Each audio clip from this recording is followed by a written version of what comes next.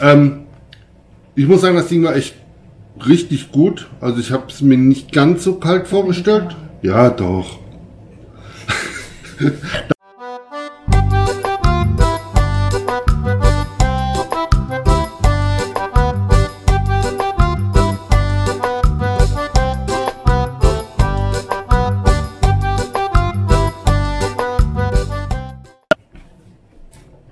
Hey und herzlich willkommen bei den Tees. Dank nochmal. Geht schon wieder los. Willkommen zu unserem neuen Video. Heute wollen wir euch mal ein Feedback geben zu unserer Campingausrüstung. Und zwar haben wir uns ja mehrere Geräte gekauft, bevor wir losgefahren sind. Und ähm, was denn? Nicht. Gut. Und jetzt wollten wir uns euch einfach mal mitteilen, wie wir die Geräte finden. Und zwar geht es da um die Klimaanlage, um den Kadak und die Kühlbox.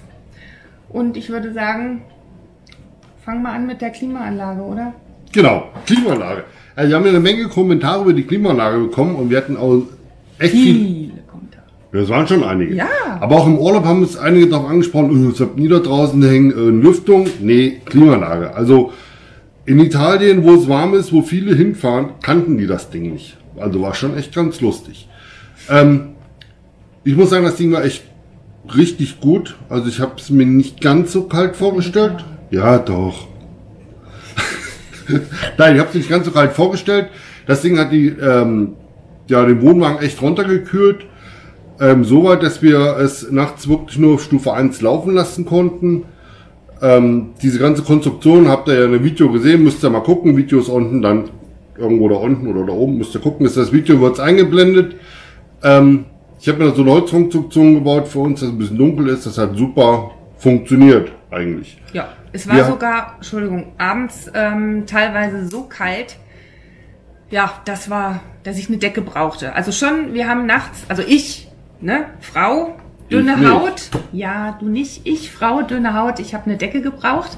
Ähm, bevor wir jetzt weitermachen, ich wollte einfach nochmal sagen, falls ähm, ihr Bock habt, könnt ihr einfach mal unseren Kanal abonnieren, nämlich ähm, hier, hier unten oder hier unten. Ich weiß jetzt nicht so richtig, da könnt ihr abonnieren.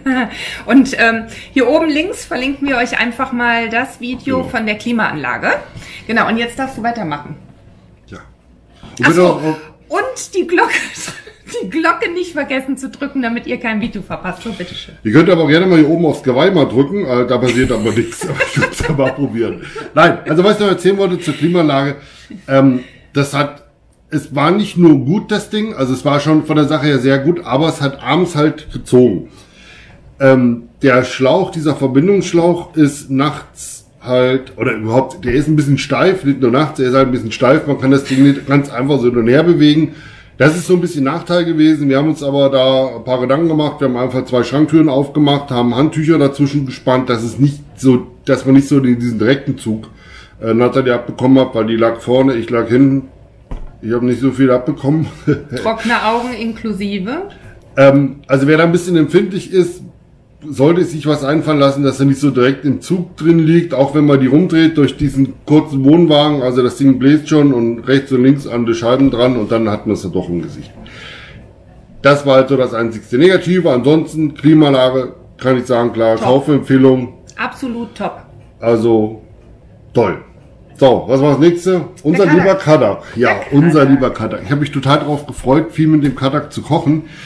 Äh, wir haben gar nicht so viel gekocht. Also ich koche ja zu Hause auch nicht. Habe ja so ein bisschen Küchenverbot von meiner Frau das bekommen. du immer, hast du überhaupt nicht. Naja, aber wenn ich Das mittlerweile darf ich ein Das Herz hätte dran. er gerne, weil er nämlich nicht gerne kocht. So, und dann heißt Genau. es nämlich immer, Küchenverbot hat er nicht.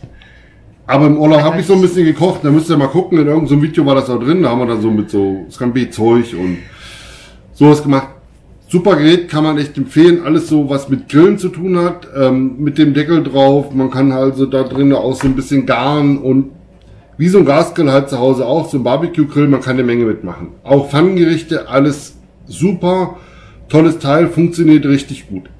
Äh, Das Einzige, was ein bisschen doof war, wenn man abends mal oder mittags mal so fünf, komme ich alles auf abends, wenn man irgendwie mal so fünf Liter Wasser für ein paar Nudeln warm machen möchte mit einem Topf, das dauert echt lang. Das dauert richtig lang, das macht eigentlich überhaupt gar keinen Sinn. Also da hat man mehr Gasverbrauch als alles andere.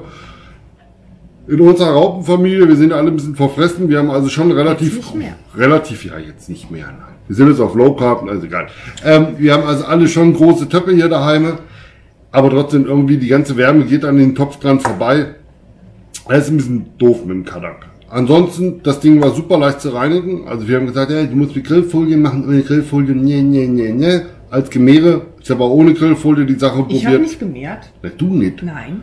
Sie wurde ja als Nörgel- Nörgelfee bezeichnet von irgendjemandem von euch. Also, Liebe Grüße an den Herrn, der mich als äh, Nörgelfee bezeichnet hat. ja, auf alle Fälle, das Ding geht super sauber und ist ein ganz tolles Gerät, leicht zu verstauen, genial. Aber ähm, Wasser warm machen macht keinen Sinn. Dementsprechend, wie wir es ja im Südseecamper hatten, hatten wir unsere Induktionskochplatte dabei. Hat auch diesmal funktioniert. Also ähm, 10 Ampere Absicherung auf dem Platz reicht. Man kann Induktionskochplatte benutzen, Klimaanlage 24 Stunden laufen lassen und noch alles mögliche an Handys laden und was der Geier was funktioniert. Ähm, Wasser macht echt Sinn, da darauf erstmal zum Kochen zu bringen, dann kann man das Wasser rüber auf den Kadak stellen, dann funktioniert das auch mit Nudeln kochen, nur wenn ihr morgens Nudeln essen wollt, solltet ihr, oder abends Nudeln essen wollt, solltet ihr morgens mit anfangen. Also das dauert ein bisschen lang, ist ein bisschen doof. Bisschen. Das mit ist, der Folie war auch doof. ja, mit der Folie irgendwie ist es, Was haben wir da? Ach, Speck. Wir haben Speck äh, versucht äh, zu brutzeln auf der Grillfolie. Das hat auch nicht so funktioniert. Also das hat auch Stunden gedauert. Also ohne Folie, Speck draufgelegt, Spitze. und es geht echt super schnell sauber. Also viele meckern ja, geht nicht, doch, super. Also auch ohne Kratzer, tolle Geschichte. Gut, Die Kühlbox. die Kühlbox, ja, die Kühlbox. Die war gut. Und die war mal richtig gut. Also Wer am Anfang habe ich, am Anfang habe ich ein bisschen gekotzt, weil ich wollte das Ding, wir haben extra uns so eine Steckdose im Auto bestellt, dass wir da ohne Umwandler einfach nur so reinstecken und geht und nein. Wir haben nämlich so einen flachen Stecker, eine flache Steckdose im Kofferraum und das Ding hat so einen fetten Stecker. War doof. Also durfte ich kurz vor der Abfahrt, man könnte es ja vorher mal testen, wir machen sowas nicht, wir lassen uns gerne überraschen, habe ich noch schnell eine Steckdose gebaut mit einem Stecker und Lange Rede, kurzer Sinn. Also wir haben das Ding vorgekühlt, hatten alle Sachen drin auf dem Weg bis nach Italien, 15 Stunden Fahrt. Es war alles noch kalt da drin. Also die Isolierung von der Kühlbox ist spitze. Dann haben wir die natürlich im Vorzelt hingestellt, weil wir wollten ja, dass die lieben Mädels sind, als in den Wohnwagen reinrennen, sondern die können sich draußen was zu essen, was zu trinken nehmen. Wir hatten das Ding wirklich in der Sonne stehen gehabt. Und das ist kein Witz. Da war nur noch hier diese Seitenscheibe von der Seitenwand, von der, äh, vom Vorzelt dazwischen. Die Sonne hat nachmittags da drauf gebrutzelt. Man konnte den Deckel kaum anpacken, so heiß war der. Und ich habe die Kühlbox hochgedreht und alle Getränke waren gefroren. Richtig gefroren. Also Also, richtig mit Eis. Also die Getränke waren drin wie Eisbrocken. Also für den Preis so eine große Kompressorkühlbox zu bekommen, äh, geil. Also ganz klare Kaufempfehlung. Das war das beste Teil, was wir gekauft haben. Ja, ganz klare Kaufempfehlung. Super Teil, genial. Was haben wir denn noch so gekauft? Muss auf den Zettel gucken. Unsere Ausrüstung allgemein Ja, so ein bisschen was über uns ausrüsten. kann kein Mensch lesen. Ich schon. Also was wir festgestellt haben, so wie wir gestanden haben, wir brauchen auf alle Fälle noch ein Sonnenvorzelt-Segel. Äh, Segel. Ja, Vorzelt, Sonnensegel, mal so. Auf alle Fälle brauchen wir ein bisschen Schatten. Wenn man da morgen früh sitzt und die Sonne marschierte da so wunderschön lang, äh, war mir zu warm. Also brauchen wir noch mal so ein bisschen Schutz, dass man da auch mal ein bisschen im Schatten liegt. Das stimmt. Danke. Ansonsten war es wunderschön. Das erste, was wir gekauft haben, war ein wunderschöner Vorzelt-Kehrbesen Ja, und ein kleines Kehrblech. Das ist meine Frau. Das erste, was sie auf dem Campingplatz kauft. ein Kehrblech. Juhu. Man braucht es unbedingt. Nee, aber war Ja. gut. War echt gut. Ähm, spitze geil. Also wir haben auch gemerkt, wir brauchen eigentlich gar nicht mehr viel. Wir hatten ja noch ein bisschen Probeurlaub gemacht.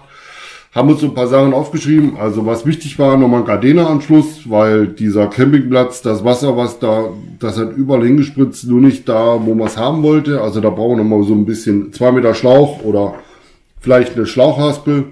Und eine Wäschespinne. Eine Wäschespinne eine brauchen wir. Wir Äh. hatten nur eine Wäsche. Entschuldigung, ich möchte auch mal reden. Heute das ganze Tag. Das stimmt nicht.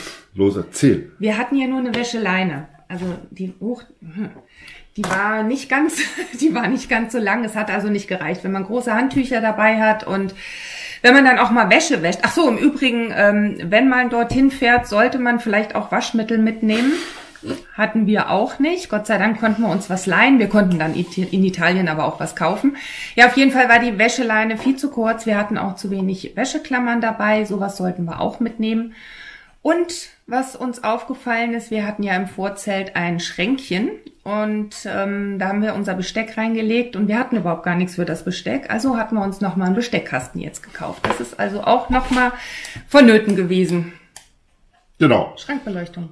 Schrankbeleuchtung, ja. Wir haben zwar Licht in dem Wohnwagen, aber genau wo unsere zwei Schränke sehen, wo die Klamotten drin sind, dunkel. Also wirklich dunkel. Auch tagsüber dunkel wie im Hühnerarsch. Haben wir so ein bisschen fest, ja, haben wir so ein bisschen festgestellt, wir brauchen Schrankbeleuchtung. Also ich werde dann auch so mit so LED-Birnen, irgendwie mit Bewegungsmelder was basteln. Wir brauchen noch mal zwei, drei Schrank, äh, Schrankbretter, weil wir haben bei uns einen Schrank, wo wir so die Hängesachen reinmachen können. Haben wir nicht. Brauchen wir nicht. Da machen wir noch so zwei Schrankbretter rein, die wir im Endeffekt auch nicht bräuchten, weil Platz haben wir genug, aber nee, egal. Sieht besser aus, machen wir rein, kommt ein bisschen Beleuchtung rein. Kriegen wir schon voll. Vielleicht mache ich sogar ein Video drüber, zeig euch, wie ich da so, was ich mir für Gedanken mache, könnt ihr dann gerne unten reinschreiben, wenn ihr eine Idee habt, wie ich es jetzt schon besser machen kann. Ähm, ich wollte jetzt einfach nur so runde Dinger drunter kleben mit Bewegungsbänder. Habt ihr gute Ideen? Schreibt es auch in die Kommentare rein. Äh, ich antworte definitiv oder wir antworten. Warum soll ich was probieren, wenn ich von besseren Leuten was lernen kann? Des Weiteren noch ein kurzer Aufruf. Sonnen, Vorzelt Sonnensegel. Also ich habe so ein bisschen rumgegoogelt und eigentlich nicht so das Richtige gefunden. Wenn von euch irgendjemand so ein Ding hat, verkaufen möchte, eine Idee hat, wenn es so Zeltstangen sind, irgendwelche Vorzeltstangen übrig hat, schreibt es auch bitte unten in die Kommentare rein. Äh, ich muss mir, glaube ich, eh irgendwie selber was klöppeln, stricken, biegen. ja, biegen mit Vorderzelt und Vorderzehen, Bibern. Also schreibt irgendwas rein, wenn ihr es bauen kann, äh, wer so ein Ding verkaufen möchte und so weiter. Also wir haben eine Fürstseite von ja bis zur Mittelstrebe sind es 263 ungefähr. Die meistens heißt es Größe 12, 11 oder 12 wäre so ein 14. Wer was hat, meldet euch. Muss ja nicht immer alles neu kaufen. Ja, ansonsten war eigentlich alles gut. Also das, Das war spitze. spitze. Toller Urlaub. Wenn die Kinder weniger genervt hätten, wäre es noch besser gewesen. Ja, wir haben echt festgestellt, weniger ist echt mehr. Man braucht nicht viel mitnehmen. Ich habe schon so ein paar Sachen auch wieder ausgepackt an Menge an Werkzeug und noch ein Eimer und für was. Also wir hatten eigentlich alles. Viel zu viel ähm, Salatschüsseln haben wir. Ich weiß gar nicht, warum wir so viele Salatschüsseln haben. Also überhaupt viel zu viel Geschirr, alles. viel zu viel Geschirr, was wir gekauft haben.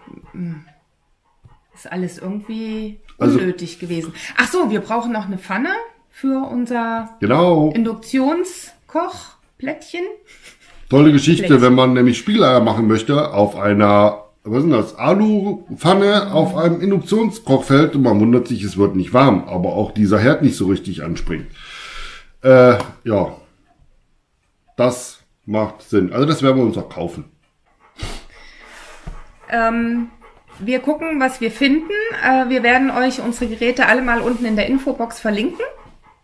Und wenn euch unser Video gefallen hat, dann hinterlasst bitte einen Daumen nach oben und gerne auch einen Kommentar, einen konstruktiven Kommentar. Nörgelfee fand ich spitze. Ist klar, dass du das spitze findest. Ja, ich fand's aber auch ganz nett. Danke. Und wie gesagt, wer was weiß wegen so einem Sonnending, irgendeine Idee hat, irgendwas, schreibt's bitte rein. Bitte, bitte, bitte schreibt's rein. Äh, möchte gerne was machen. Okay, Das war's. das war Also- von dieser Woche. Unser Dann- Resümee. Ja, Feedback. Feedback, Feedback. Feedback. Alles klar, dann wünschen wir euch eine schöne Woche und bis bald. Tschüss.